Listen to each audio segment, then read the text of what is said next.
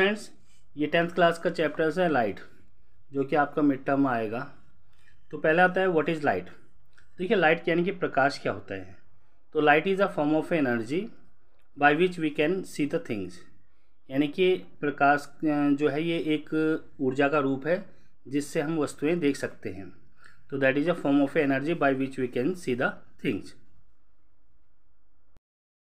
what is the source of light source of light क्या है? देखिए which gives light is called source of light जो प्रकाश देता है, कोई भी चीज़ प्रकाश देता है, जैसे सन है और स्टार्स हैं, आपका बल्ब है, ये सभी लाइट देते हैं। तो these are called source of light next हमारा है type of source of light तो सोर्स ऑफ़ लाइट के कितने टाइप्स होते हैं? तो there are two types first is natural and second is man made तो नेचुरल सोर्स ऑफ़ लाइट यानी कि सन है स्टार्स है, ये हमें प्राकृतिक रूप से मिले हुए हैं। और मैन मेड जैसे मनुष्य खुद बनाता है, जैसे बल्ब टॉर्च ट्यूबलाइट्स इस तरह से। हमारा है लूमिनियस ऑब्जेक्ट लूमिनियस ऑब्जेक्ट क्या होते हैं? The object which gives its own light जो अपना खुद का प्रकाश देती हैं, उन्हें हम लूमिनियस ऑब्जेक्ट कहते हैं। और non luminous object the object which does not gives its own light जो अपना खुद का प्रकाश नहीं होता, उन्हें हम नॉन लूमिनियस ऑब्जेक्ट कहते हैं। नेक्स्ट है हमारा मिरर मिरर यानी कि शीशा होता है। तो polished and shiny surface is called mirror यानी कि पॉलिश किया हुआ और चमकीला जो सतह होती है, उसे हम मिरर यानी कि शीशा कहते हैं। यानी कि दर्पण होता है। शीशा का मतलब दर्पण ही होता है। नेक्स्ट हमारा टाइप ऑफ़ मिरर्स तो there are two types of mirrors first is concave mirror and second is convex mirror तो कॉन्केव मिरर क्या होता है कि एक प्रकार का मिरर होता है। इसका जो आउटसाइड जो होता है वो सरफेस पॉलिश्ड होता है और इनर सरफेस जो होता है वो रिफ्लेक्टिंग सरफेस होता है। और कॉन्वेक्स मिरर जो होता है, उसका इनर सरफेस जो है, अंदर की तरफ़ है, वो पॉलिश्ड होता है और आउटर सरफेस जो है, वो रिफ्लेक्टिंग सरफेस होता है। तो इसकी डेफिनेशंस भी लिखी हुई है मैंने यहाँ पर। ये कॉन्केव मिरर का लिखा हुआ है।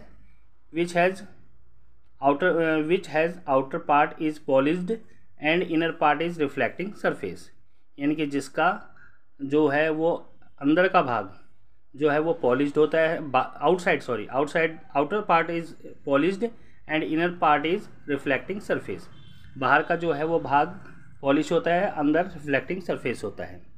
और कॉन्वेक्स का क्या होता है which has inner part is polished and outer part is reflecting surface. अंदर का जो है वो पॉलिश किया होता है और बाहरी सरफेस जो होता है इसका ये रिफ्लेक्टिंग सरफेस होता है। हमारा आता है uses of concave mirror concave mirror का हम कहाँ कहाँ यूज़ कर सकते हैं? It is use as a shaving mirror shaving mirror जहाँ पर जो है वो शेवे बनाते हैं, उसमें यूज़ होता है। It is use in tube lights head lights torch ई इनमें इसका इस्तेमाल किया जाता है। और it is use by dentist dentist जो है वो दांतों का जो डॉक्टर होता है, उसके द्वारा इस्तेमाल किया जाता है। It is use in solar panel solar panel के अंदर भी जो सोलर पैनल होता है, इसमें इसका इस्तेमाल किया जाता है। और it is use in solar cooker solar cooker में भी इसका इस्तेमाल किया जाता है। अब नेक्स्ट आ जाता है uses of convex mirror convex mirror का हम कहाँ कहाँ यूज़ करते हैं? It is use in barber shop barber shop वही नाई नाई की दुकान में होता है। To see back part of the head अपने सर सर का जो है पीछे का भाग देखने में हम इसका यूज़ करते हैं कॉन्वेक्स मिरर का। It is use in automobiles automobiles में भी इसका इस्तेमाल किया जाता है। It is use as street light reflector street light reflector में भी हम इसका इस्तेमाल करते हैं। और it is use to see full length image of tall building tall building की जो पूरी इमेज देखने में भी हम लोग जो है कॉन्वेक्स मिरर का प्रयोग करते हैं। नेक्स्ट है usages of plane mirror plane mirror का इस्तेमाल कहाँ किया जाता है? It is use in submarine submarine जो समुद्री जहाज़ होते हैं समुद्र के अंदर रहते हैं, उनकी में इसका इस्तेमाल किया है। It is use in kaleidoscope kaleidoscope में भी इसका इस्तेमाल किया जाता है। It is use in solar cooker solar cooker में इसका इस्तेमाल किया जाता है। It is in use in cooking glass cooking glass जो है वो, उसमें भी लुकिंग ग्लास सॉरी है लुकिंग ग्लास में भी इसका इस्तेमाल किया जाता है। कुकिंग नहीं है लुकिंग आएगा। जो हम देखते हैं शीशा, वो प्लेन मिरर में ही देखते हैं। नेक्स्ट हमारा है reflections of light reflections of light क्या होता है? देखिए, एक रिफ्लेक्टिंग सरफेस है। इस रिफ्लेक्टिंग सरफेस पर यहाँ से इंसिडेंट रे आती है और इस पर टकराने के बाद ये वापस चली जाती है। और ये जो इंसिडेंट इस रे को बोलते हैं हम इंसिडेंट रे और ये वापस टकरा कर जाती है, इसे कहते हैं रिफ्लेक्टेड रे और इसके बीच में एक एंगल 90 डिग्री का होता है, उसे हम नॉर्मल बोलते हैं।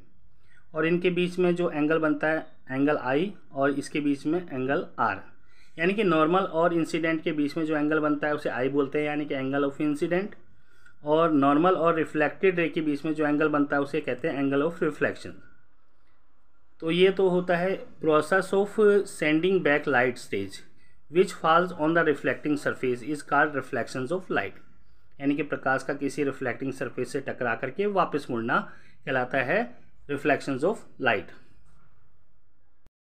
आता है what is the law of reflections law of reflections क्या है? Incident ray reflected ray and normals all lies in the same face एक ही फेस पे वो आते हैं। सेकेंड रूल है इसका angle of incident is equal to angle of reflection incident जो एंगल ऑफ़ इंसिडेंट हमेशा एंगल ऑफ़ रिफ्लेक्शन के बराबर होता है। That is I equal to R अब हमारे पास नेक्स्ट है। What is real image the image which formed on the screen in front of a mirror एक मिरर के आगे जो स्क्रीन पर बनता है इमेज उसे हम कहते हैं रियल इमेज यानी कि इमेज हमारा है प्रतिबिंब। नेक्स्ट आता है characteristics of a real image real image के जो गुणधर्म क्या होते हैं? It formed on the screen ये स्क्रीन पर बनता है। इट इज़ इन्वर्टेड ये उल्टा होता है। It forms in front of the mirror mirror के आगे ये बनता है। वट इज़ वर्चुअल इमेज आभासी प्रतिबिंब किसे कहते हैं? The image which can not formed on the screen जो इमेज जो है, क्या कहते हैं? स्क्रीन पर नहीं बनती है, उसे हम वर्चुअल इमेज कहते हैं। Characteristics of the virtual image virtual image के गुणधर्म क्या हैं? It can not formed on the screen ये स्क्रीन पर नहीं बनता है। इट इज़ इरेक्ट ये बिल्कुल सीधा होता है। It formed behind the mirror ये मिरर के पीछे बनता है। तो फ्रेंड्स ये पार्ट फ़र्स्ट है। पार्ट सेकंड आपको जल्द ही जो है वो मैं बना दूँगा।